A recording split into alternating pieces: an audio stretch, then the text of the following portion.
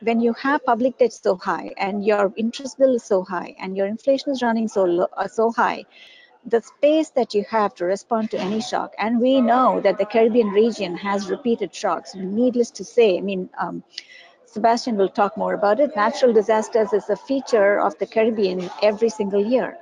So, if the government does not have the fiscal space to respond to these shocks, it incurs higher debt, and then the vicious cycle just keeps getting exacerbated.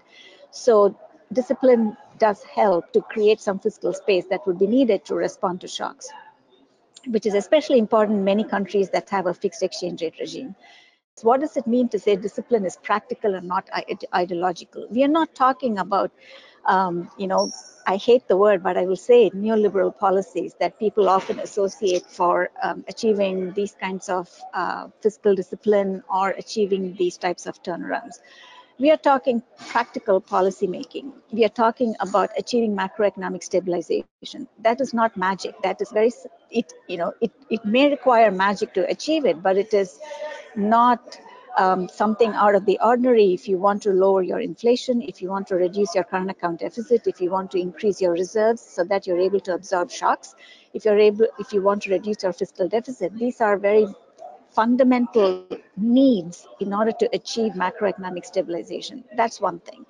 The second policy is um, instituting the rule of law. Um, there has to be some um, discipline in the way the country is run and in the way in which it is predictable so that the rule of law is actually followed and businesses understand that there is a recourse should things go wrong.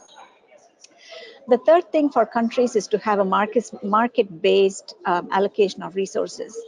Um, you know, in, in many of them, this I would associate also with a modest role for government. I would say these two are combined in a certain way, particularly in the Caribbean, where government takes a very expansive role in an economy, where the government, um, the arms of the government are pretty much everywhere. Again, to quote this uh, example of Jamaica, and I'm not using Jamaica, I just know the country well, and therefore I'm using it as an example. Um, Jamaica has, um, as of 2016, at the start of the current standby arrangement, it has uh, it had 180 public bodies, 180 public bodies. For a country with a population of 2.8 million, I would have to say it is one of the highest on a per capita basis of how much public body is associated with each citizen. And that needs to be streamlined. The role for government has to be narrowed so that the market and the private sector is able to play a more active role in, um, in shaping the economy.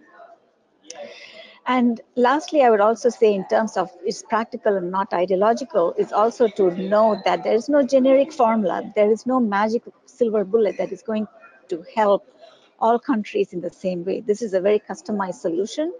Um, and you know, fiscal doesn't necessarily mean that it is strict austerity for a prolonged period of time or a short period of time, or whether it is front-loaded or it is low or it is fast. It is a customized solution that has to be based on what are the needs of the country, what are the circumstances of the country, and what, therefore, what policies would help that country by understanding the circumstances in which it is at that time.